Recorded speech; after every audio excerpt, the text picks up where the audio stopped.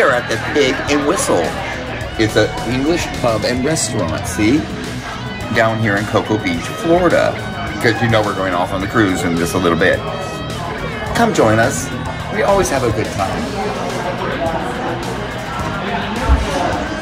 It's a pretty pub. It's a real pretty pub. Very British. Very British. And we cannot wait to get some British food.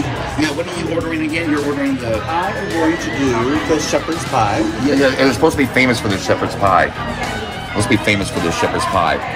I'm thinking I'm going to do the fish and chips because we're in a British pub. What a better idea. And we're ordering two Guinnesses and two shots because we're on our vacation. vacation. Yay. Wish you were with us. See y'all soon. Peter,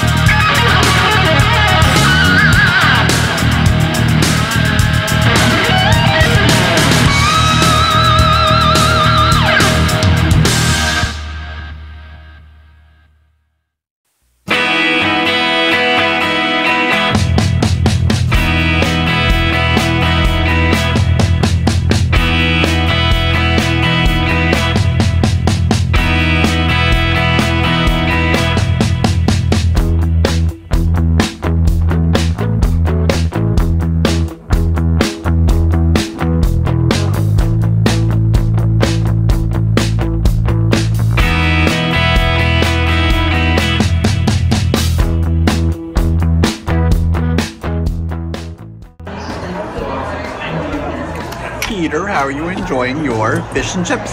Hello. I'm loving my fish and chips. This is uh, fresh fried cod with malted vinegar. Delicious, delicious, absolutely delicious. It's flaky, and you can tell. Excuse me. You can tell it's fresh. Delicious. Awesome. Mmm. Oh, yum yum yum yum yum yum yum yum yum yum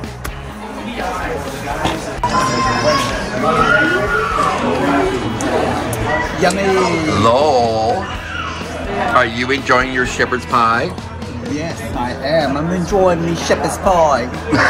Even your little British accent. Yummy. Delicious. My British pie. It's nice here. If you have a chance to come to Pig and Whistle here in Cocoa Beach, Florida, you need to, right? That is fresh, and that cod is absolutely fresh. Wish you were here. Talk to y'all soon. Bye. Yummy. Yummy.